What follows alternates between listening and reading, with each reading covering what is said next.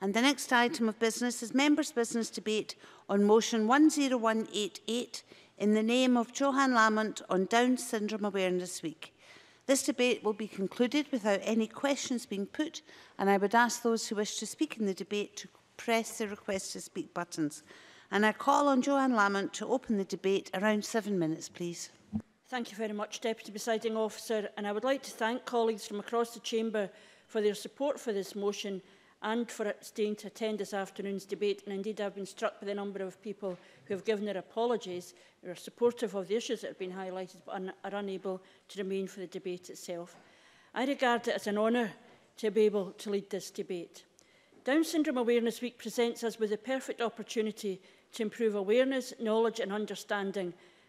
and to help society see past Down syndrome.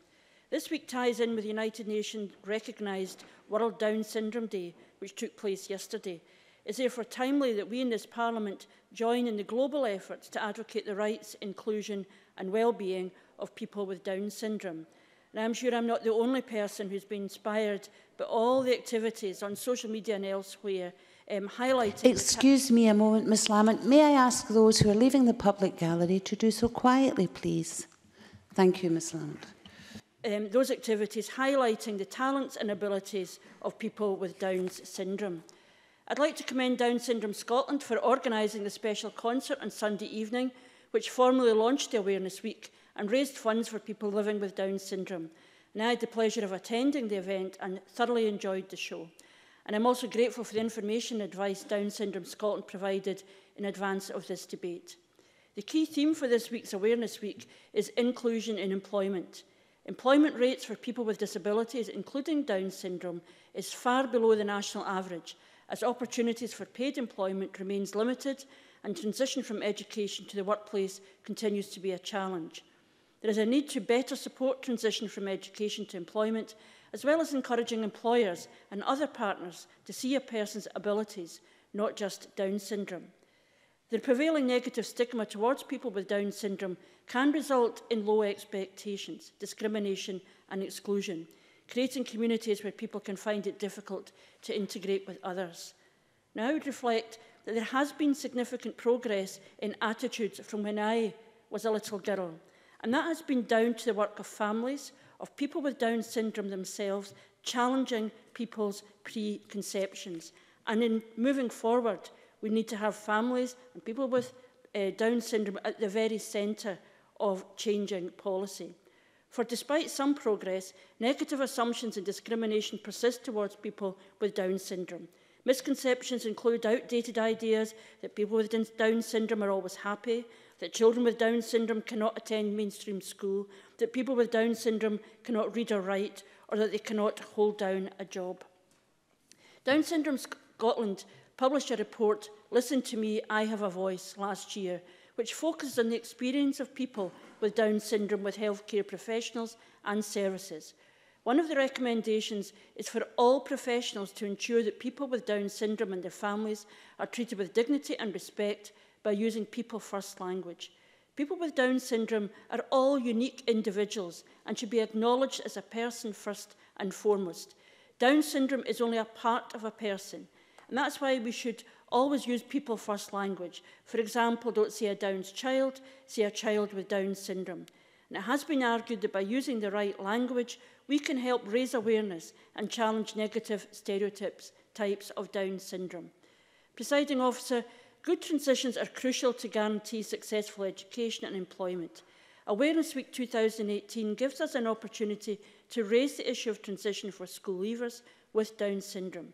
Down Syndrome Scotland indicates that it continues to receive feedback from families regarding the lack of support too many encountered at this crucial time. Nobody is aiming high for our kids, says one parent, while another explains that people need to feel they are useful. Successful engagement on transitions also relies on establishing trust between young people, their parents and professionals. Trust cannot be reached without good communica communication between all parties involved. Transitions can lead to anxiety and loneliness for young people and their parents who worry about the lack of opportunities. Down Syndrome Scotland has indicated it would welcome better data on positive destinations and information about pupils leaving school. Down Syndrome Scotland knows of some members who spent years at college and ended up with no job.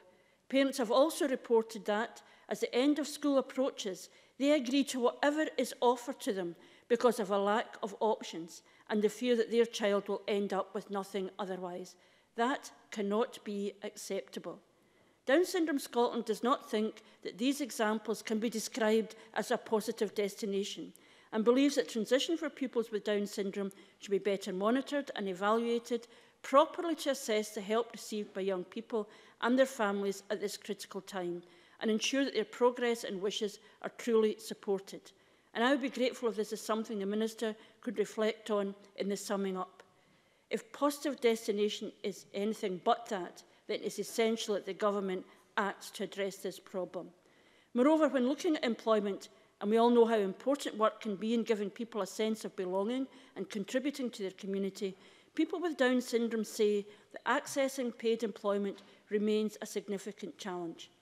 According to the Scottish Commission for Learning Disabilities Research, the employment rate for people with a learning disability sits between 7 to 25%, compared to Scotland's national employment rate of 73%.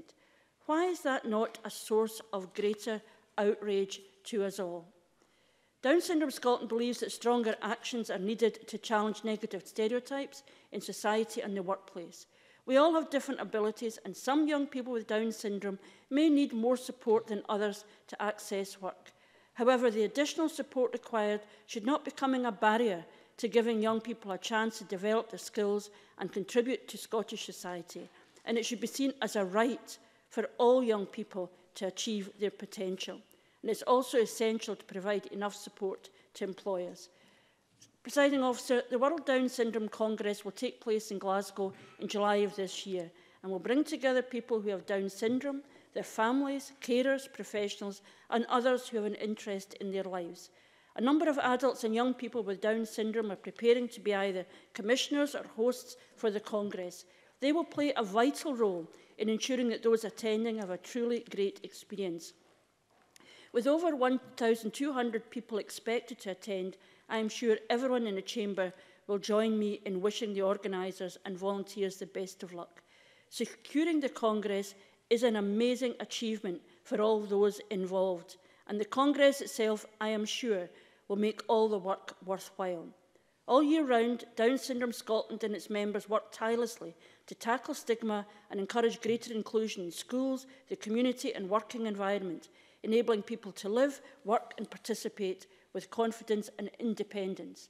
I hope the debate this afternoon has helped inform that, that these issues around the challenges people with Down syndrome face in terms of the transition from education and employment.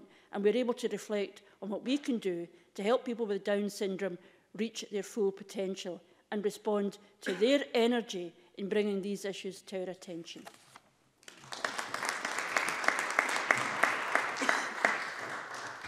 We move to the open debate and I would ask for speeches of four minutes, please. Can I have Kenneth Gibson followed by Brian Whittle?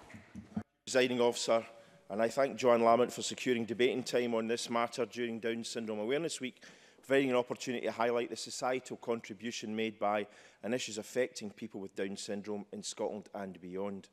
With approximately one in every thousand babies born with the condition, Down syndrome is the most frequently recognised form of learning disability. It occurs randomly at the point of conception and affects males and females alike.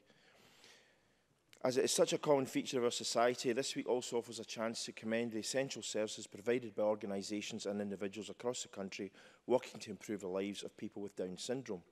Perhaps the most influential of these organisations in Scotland is Down Syndrome Scotland, a parent-led charity established in 1982 with the vision of creating a society that fully accepts people with the condition. They are currently the only charity in Scotland dedicated solely to supporting people with Down syndrome and their carers, providing all through life support across Scotland. With eight branches across, the, uh, across Scotland, the charity provides constant support and a wide range of clubs and activities thanks to their dedicated volunteers, aiming to assist families and individuals through fellowship and friendship. The key theme for this year's Awareness Week is inclusion in employment. Selected as employment rates for people with disabilities fall far below, the national average, as uh, John Lamont indicated. Opportunities for paid employment remain limited, while transition from education to the workplace continues to be a challenge. Therefore, the transition must be eased and employers encouraged to see a person's abilities, not just their condition. Over the past few years, the Scottish Government has worked towards improving the quality of life of people with Down syndrome through important strategies such as the Keys to Life or a Fairer Scotland for Disabled People. Nonetheless, recent reports show more work is needed in implementation. Regarding Down syndrome, eradicating stigma is important. To do so, DSS recommended using people-first language which acknowledges individuals with Down syndrome as people first and foremost, not defined by their condition. All eyes will be on Scotland this July when the SCCC e will host the Triennial World Down Syndrome Conference, dealing with topics of experience, research and practice, widening opportunities and improving lives. The World Congress will bring together people with Down Syndrome, their families, carers and others with an interest in their lives well over 1,000 delegates are expected to attend the four-day event, and the Congress will be a fantastic opportunity to highlight the progress being made internationally and for those from different walks of life and diverse backgrounds to share their experiences. Raising awareness of Down syndrome this week can take many forms, be it, be it wearing odd socks, holding a tea for 21 party, attending an awareness event, making a charitable donation or simply sharing a hashtag on social media. Online negativity and harassment may seem all too prevalent, yet digital content which facilitates positive discourse can have far-reaching effects. In fact, just last week, two videos sharing a positive message surrounding Down syndrome went viral. A video of five-year-old Chloe Lennon from Irvine, Ayrshire has been shared more than 330,000 times across the world, racking up over 10 million views. In the video posted by her mum, Jade, she explains that World Down Syndrome Awareness Day is on 21st of March, encouraging people to wear odd socks that day as part of the Lots of Socks celebration. The video had an inspiring effect with thousands of positive comments and messages flooding in. In addition, a group of 50 mothers of children with Down syndrome collaborated on a carpool karaoke style video to raise awareness and help change attitudes. The video called 50 Mums, 50 Kids, One Extra Chromosome is being shared with the hashtag wouldn't change a thing and carries a heartwarming and powerful message about disability, diversity and inclusion. One mother who participated in this project said, we wouldn't change our children, but we want to change the world for our children. Presiding officer, I'm sure any parent can empathise with this statement and, in a more universal sense, an increasingly inclusive society is something we all ought to strive towards. As such, marking this week with debates such as this is incredibly important. The reaction to these videos is testament to the fact that visibility truly matters and proves we must work together to ensure our society reflects the needs of all. Call Brian Whittle to be followed by David Stewart. Uh, thank you, Deputy Presiding Officer, and can also uh, thank Joanne Lambert for bringing this debate to the Chamber, and I'm grateful to have the opportunity to contribute. I know Down syndrome is discussed as a disability, and firstly, I, I wanted to highlight again that that word uh, disability to me is a misnomer. Time and again, we are reminded of the contribution to our society that the so-called disability community give us. Just last week, for example, we lost one of the greatest minds of our time in Prof Professor Stephen Hawkins, who I don't think anybody could deny had an astonishing impact on our understanding of physics, cosmology, and the universe, no less. And the Winter, Olympics, uh, Winter Paralympics have just concluded with athletes, including those from these shores, performing at the very highest level of physical and mental ability. Ability indeed on show for all of us to marvel at. And I have to say I have been lucky enough in my time to have coached, in fact I still coach athletes in Paralympic sport and the Special Olympics as well as the so-called able-bodied. They all train together in squad sessions. And although they are individuals, they all have individual nuances because every single athlete I have ever coached is an individual with individual traits and abilities. So please, I would res respectfully suggest that we start talking about ability, not disability. Now, this gives me the opportunity to discuss uh, local Ayrshire heroine uh, Fiona Davidson, a young woman with Down syndrome, often seen by the side of Prestwick Swimming Pool, where she volunteers as a swim coach for children and adults alike. Fiona is also a member of the Team GB's Paralympic team, having travelled the world uh, in pursuit of sporting excellence, and also works part-time in an office and a shop. And as, as was highlighted in Joanne Lamont's speech, uh, she is in a minority uh, of adults uh, with learning disabilities in paid employment. So I think it's entirely appropriate then Down Syndrome Awareness Week that we take this opportunity to highlight as much as we possibly can this anomaly. And I think this is in part uh, due to the fact that employers are unaware that there may be support for them uh, when employing people who have specific needs. Indeed, uh, Jeremy Balfour and I uh, uh, delivered a workshop in East Ayrshire to local employers highlighting the many benefits of having a workforce which reflects society and that having a so-called disability does not detract from a person's ability in the workplace. It was obvious that many employers in the room had a view of the disability workforce that was contrary to this reality. And I would commend my colleague Jeremy Balfour for effectively changing the perception in that room for many.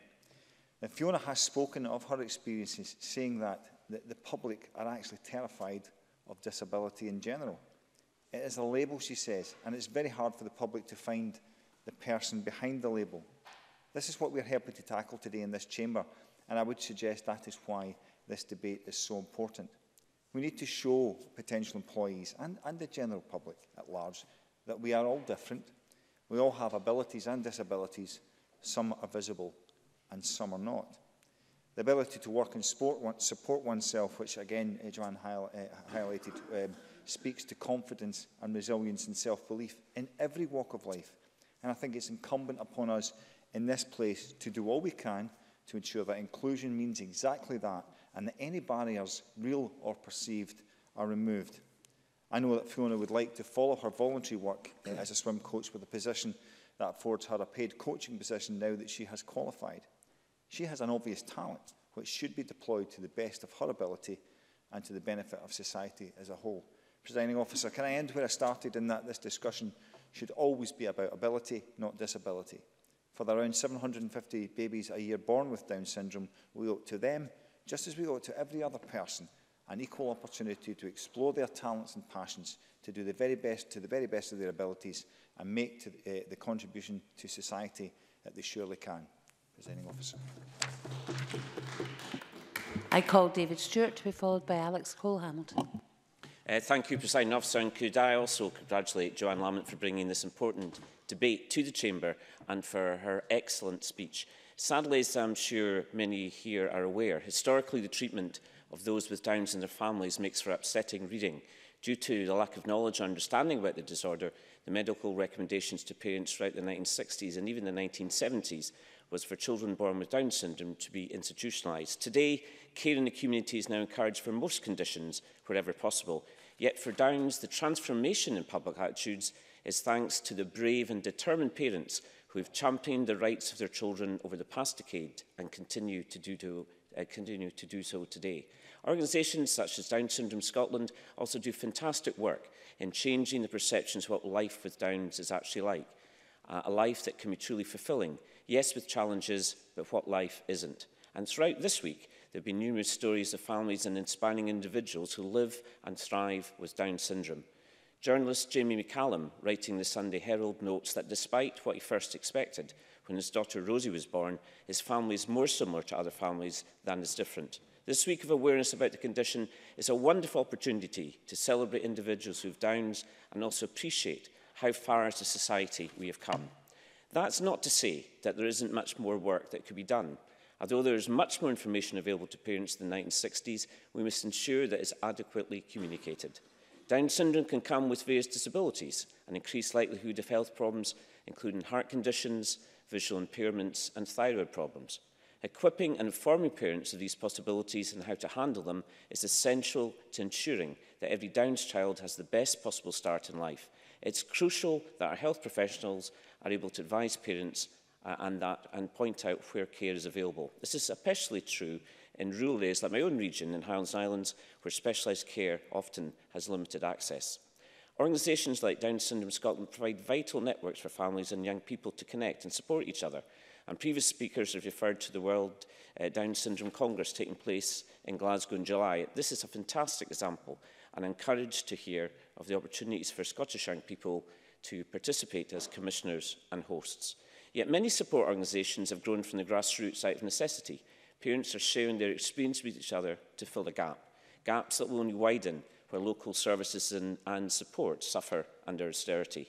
The dramatic drop in ASN teachers within our schools, a fall of 15.9% in the last five years despite rising needs is a prime example and one that we can't just shrug off. A lack of support and education will impact uh, children with Downs now and also in later life. So early in intervention is important, but often the focus is solely on the care and support that's given to families. As with all the population, with improvements in healthcare and treatment, the life expectancy for those with Downs is increasing, and it is right that those who are living into their 60s and 70s are naturally seeking more out of their lives. There are therefore serious questions to be asked about how we can support indi individuals with a condition in adult life. Now, despite changing public attitudes, individuals with Downs will face a real employment gap, as Joanne Lamont stated in her speech. Many find it difficult to work uh, and find work that is long-term and secure. And it is this face of evidence that individuals with Downs must make valuable team members. We need employers to take responsibility for encouraging the potential of those with learning disabilities and offering them real opportunities. After all, in conclusion, President Officer, as American educator and businessman Stephen uh, Colville said, strength lies in differences, not in similarities. Alex Cole Hamilton, followed by Kate Forbes. Thank you, Deputy Presiding Officer. I'd like to start as well by echoing Chamber's thanks to Joanne Lamont for this really important debate. I'm very grateful for the opportunity. I, I love the fact that the gimmick for Down Syndrome Awareness Week is to wear odd socks. It turns out, Deputy Presiding Officer, that I've actually been marking uh, Down Syndrome Awareness Week every single day of the year.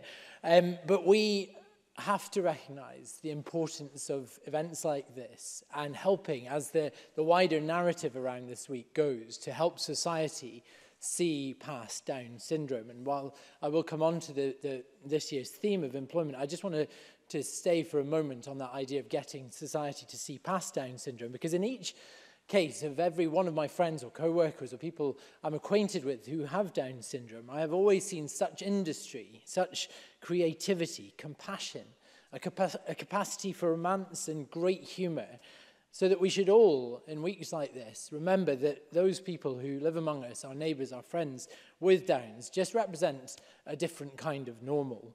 But society is rigged differently, and it doesn't recognise that different kind of normal. And I think that's why we're here today to challenge that. And from conception, the odds can be stacked against people with Down syndrome. And I will stray into a slightly sensitive area here. Now, I don't want for a minute to challenge a parent's decision not to proceed with a pregnancy when Down's is detected. That should always be their right. But that should not be the default assumption of medical staff who are offering them advice at that time. We need to equip our medical staff with an understanding and uh, a, a way of speaking to parents when, at that difficult time of decision making to scotch the idea that Downs is somehow a life sentence. And I'm very much grateful to my constituent, Lynn Murray, who's done a lot of research and work to work with the medical profession to, to manage that conversation. It's about challenging stigma ev at every single form of life for someone with Downs and assumptions that, um, that we all, at some point through popular culture, have paid into.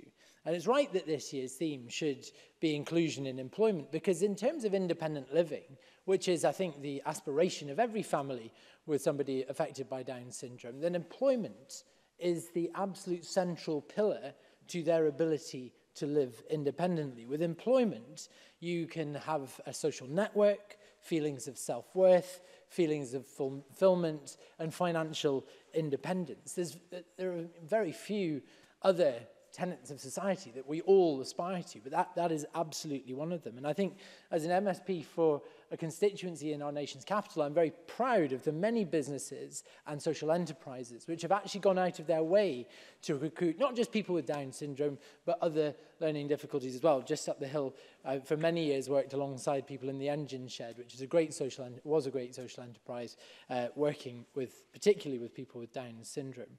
So we know that with any learning difficulties in our society, we have a parlous postcode lottery attached to support, that sometimes um, we don't get the support that families need to, to help their children who have Downs through the transitions that we've heard about today and into employment, which is obviously this year's uh, theme.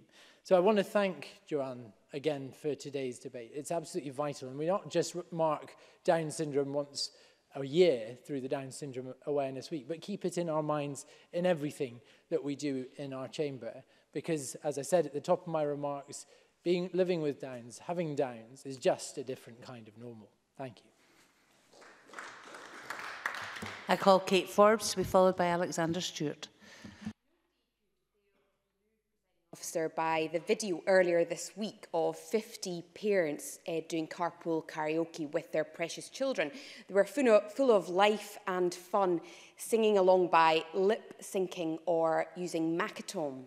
And that was a little glimpse into families with Down syndrome, with, to the enthusiasm, the laughter, and also the tears and frustrations. And that's why World Down Syndrome Day is so important because it teaches the rest of us a little bit more about Down syndrome and all that comes with it. Direct experience makes all the difference in the world.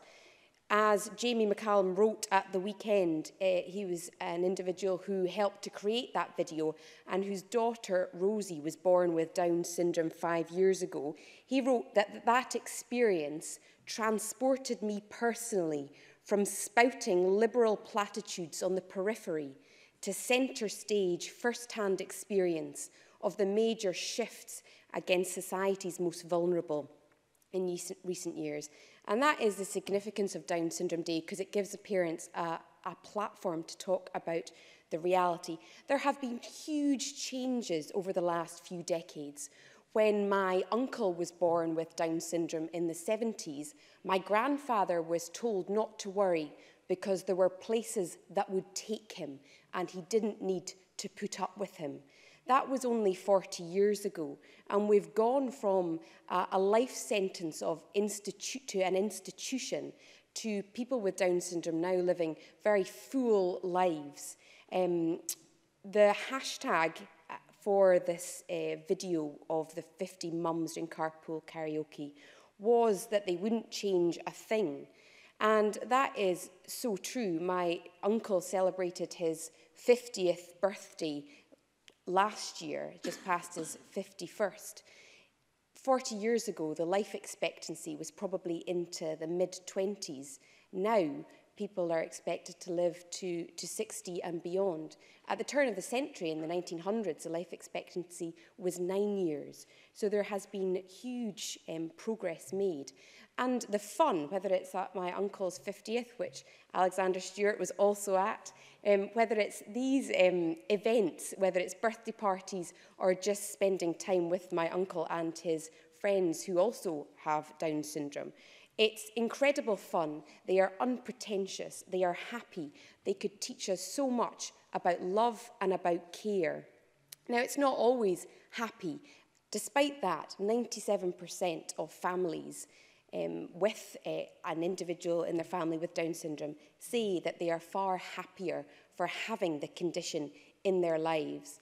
And that is why, and I say this very, very carefully, that it is heartbreaking that the figure for terminations is 94% of babies with Down syndrome. And to quote Jamie again, that means that 94% of people are opting out of something that has a 97% chance of making their, them happier. And that's where there's so much more work to do in terms of raising awareness of what life is really like with Down syndrome. You don't suffer it. Uh, people have Down syndrome. We need to improve counselling and guidance to parents who are, are facing this very difficult choice. And I do not underestimate the difficulty of that choice. And then supporting parents and families and people with Down syndrome through all the ups and downs, the highs and lows, and the opportunities and challenges. We think we are wise, normal, and fine, and yet we are shamed by people who are happier, more loving and arguably more normal than those of us who, who stress and work and strive um, about absolute trivia My uncle is always ready with a smile and a handshake often while the rest of us are cringing as he goes up to thank the, the staff at a restaurant or whatever for their service, and we want the ground to swallow us up. He does not believe that there can be anything bad from anybody in this world. And I think that that is a far more normal state to be in than the normal that we claim. Alexander Stewart has the last open debate contribution. Thank you, Deputy Presiding Officer. I'm delighted to be able to participate today and congratulate John Lamont on securing this debate. As we've already heard, we all here recognise the importance of Down Syndrome Awareness Week, and indeed this awareness should be encouraged beyond many of these promotional activities. I am always proud to highlight the contribution made by and indeed the issues that affect people with Down syndrome. It is what they can do, not what they cannot do, that we should be focusing on. They want employment. They want to go to college. They want to engage uh, their own talents. And unlocking their potential gives them the opportunity uh, to develop their self-esteem, their independence and their commitment. And we should do all we can to support them in doing that.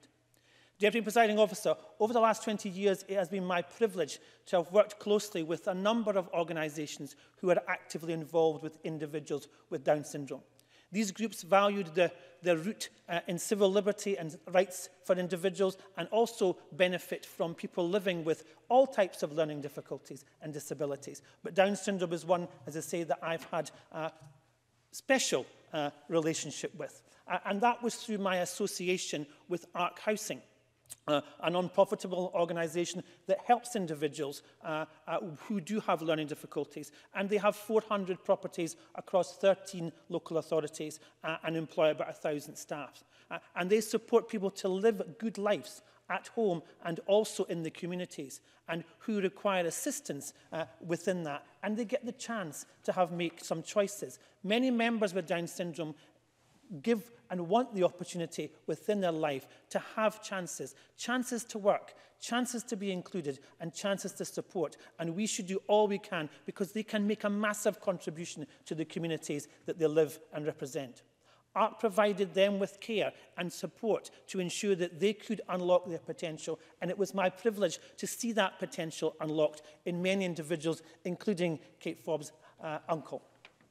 The second organisation I've been involved with is the Stepping Stones Theatre Company, a highly acclaimed drama group uh, that worked across Perth and Kinross. Uh, and I had the privilege of being a, uh, a chairman of that organisation, uh, and I still attend many of their events. Drama, dance and performing helps in so many ways, and the company is full of many stars who light up the stage with their amazing performances. Down syndrome is one of the most frequently recognised uh, forms of learning disability.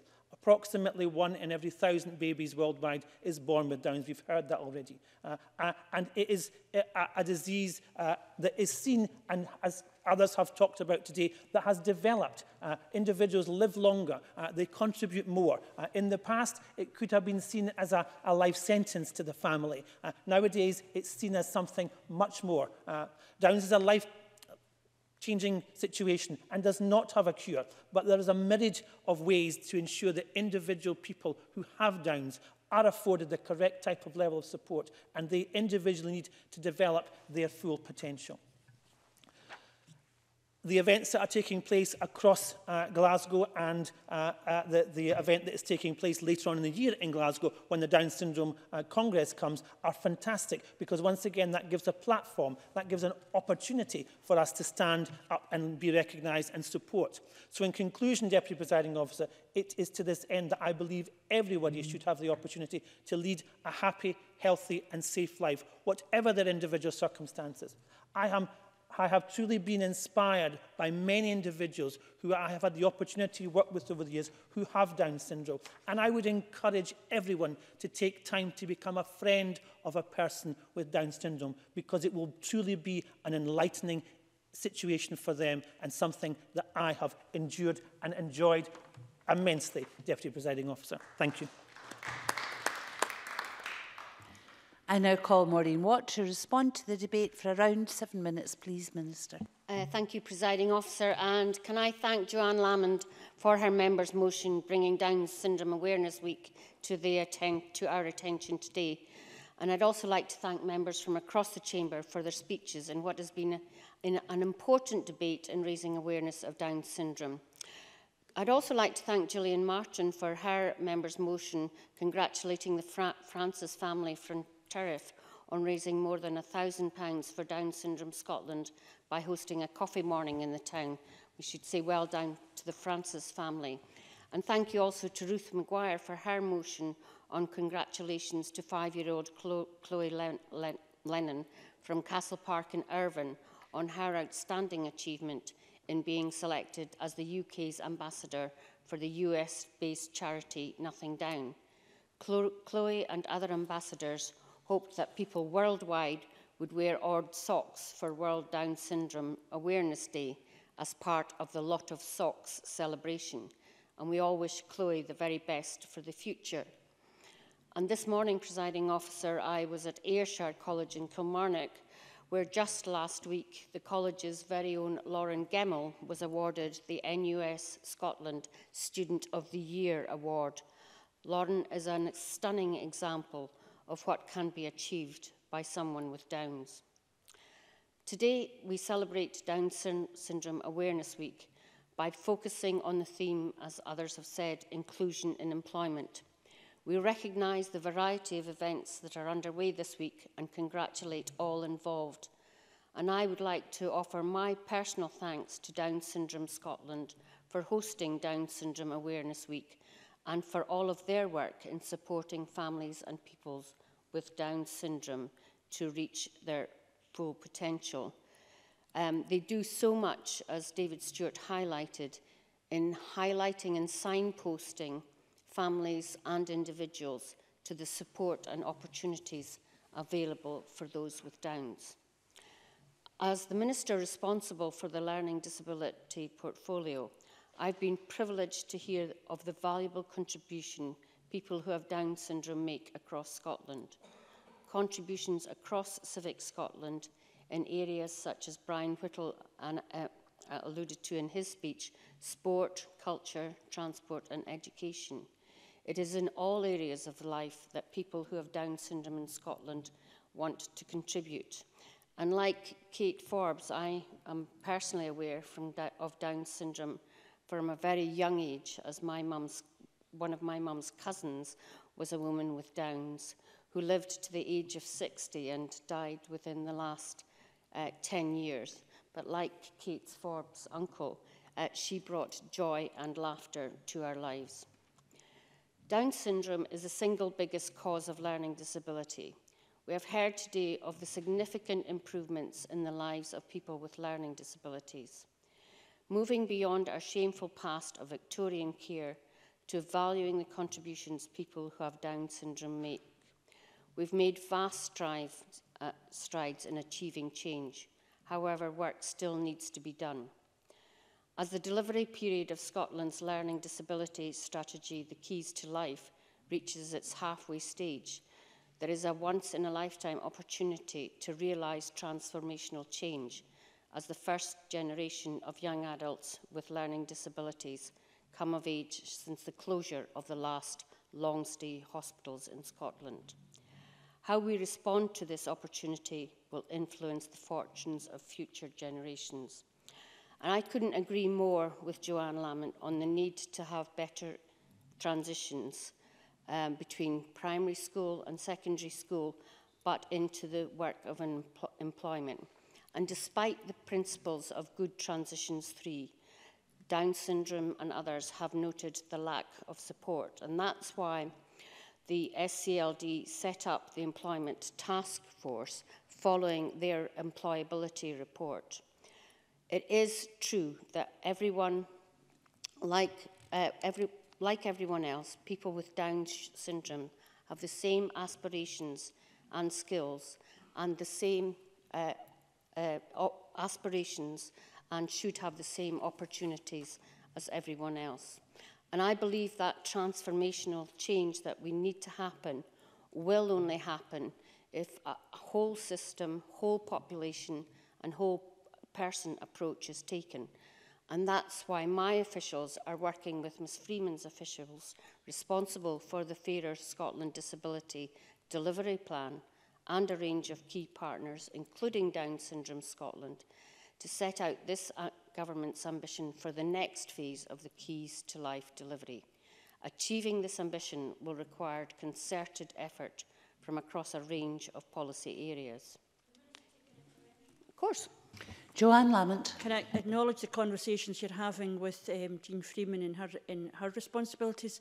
Can you outline what conversations you've had or discussions that are ongoing with the, the Minister responsible for employment and fair work because it seems to me there's a big issue here about challenging employers about their responsibilities and for us to ensure that our thinking on employment and fair work includes the rights and entitlements of people with disabilities.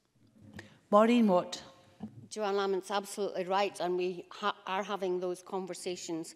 And I think it was Joanne Lamont herself mentioned about the importance of reducing stigma among employers and others to give people those life chances uh, that, that they need because, you know, if you take Lauren Gemmel, who is studying marketing, our employer's going to see her skills in marketing rather than her downs. And that's the challenge uh, to employers. So Joanne Lamont is absolutely right. So every person, as I said, in Scotland with a learning disability, including those who have Down syndrome, has the right to lead a meaningful life. Um, But despite improvements in the lives of people who have Down syndrome, we know that many people do experience that uh, negative stigma that is still around. And it is crucial to recognise that Down syndrome is only part of a person and the people first language that, uh, again, Joanne Lamont talked about should always be used. A child with Down syndrome is just that, a child first and foremost. During July this year, as uh, Alexander Stewart and others have mentioned, Scotland will host the 13th World Down Syndrome Congress in Glasgow.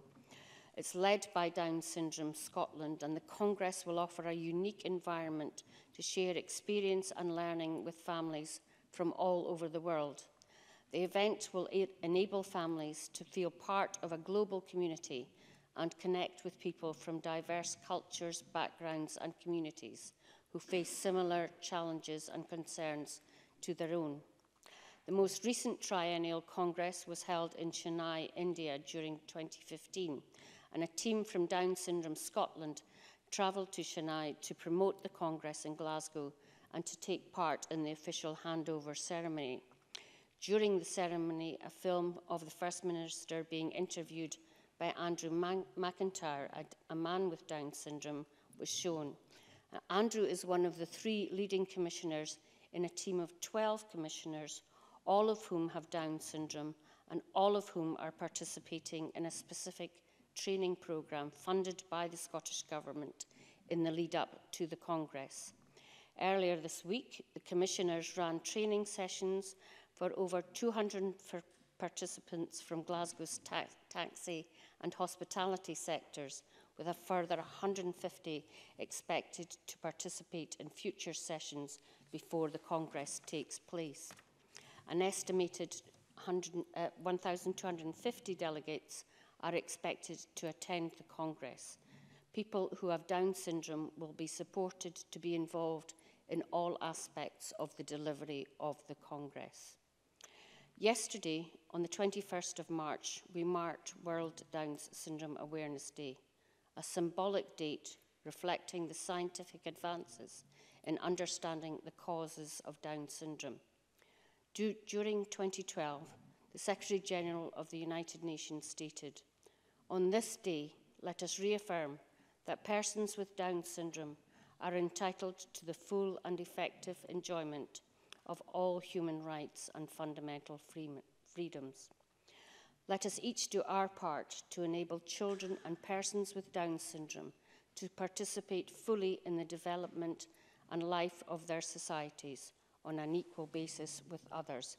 Let us build an inclusive society for all. Let us across this chamber echo those words today and reaffirm our commitment in this Parliament to work together to achieve transformational lives, change in the lives of each and every person in Scotland who has Down syndrome. Committing to seeing every person as a person, as an individual with talent and a valuable contribution to make. Thank you. That concludes the debate and the meeting is suspended until half past two.